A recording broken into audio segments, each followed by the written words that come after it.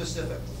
Secondary school teachers play a very important part in the continuing educational, physical, and social development of our nation's 14 to 17 year old children.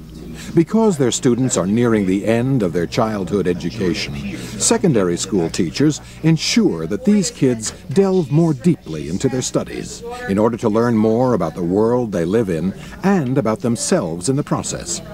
Common duties include preparing lesson plans, leading discussions, and supervising extracurricular activities.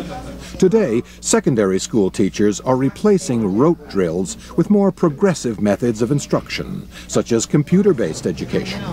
For example, a teacher may use multimedia technology to help students learn a foreign language. As a result, people interested in this profession should be open-minded about learning and implementing new teaching strategies.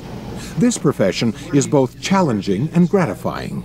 Engaging a roomful of energetic, often distracted teenagers requires a lot of patience and creativity. But watching young adults learn and grow, knowing that you've been a part of that process, can be a very fulfilling reason for choosing this career.